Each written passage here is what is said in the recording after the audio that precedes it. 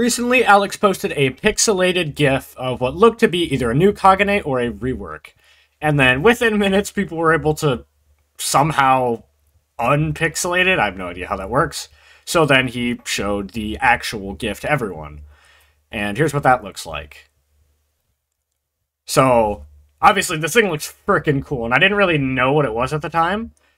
Uh, at the time, it, I was like on my phone because I wasn't at my house. I, I was gone for the weekend. So when I saw that, like, I was basically on my way home, and then uh, later he was explaining how uh, he always thought Ken K1 or Kaneki's Centipede was kind of like Kura, where it has like the one mode and then it splits into two. So that, that's kind of what this is. And I think this is a really cool idea. So I guess removing Ken K2 and having this instead would like honestly uh, I don't care that's removing it because who cares? They both suck, especially Ken K1. But this is this actually like is an insane model. I love it. I love all all the uh all the detail to like all the the tentacles and whatever. That's freaking awesome.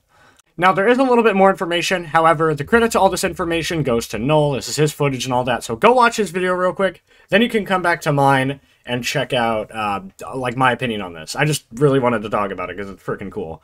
So we get to see the R move, which allows you to move in any direction you want. Up, down, left, right. It's pretty crazy.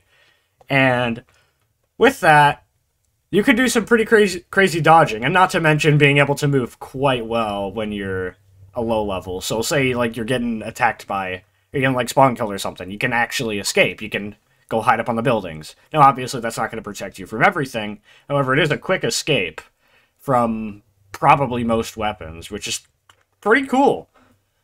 And honestly, I'm betting this is going to be pretty viable for PvP because of the multiple modes, and from the one move, we get to see some pretty insane movement.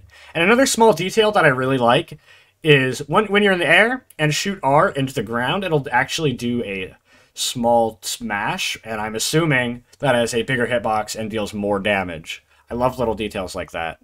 And the animation as well on this thing is pretty crazy. I love it that's pretty much all I have to say. Go watch Null's video if you haven't.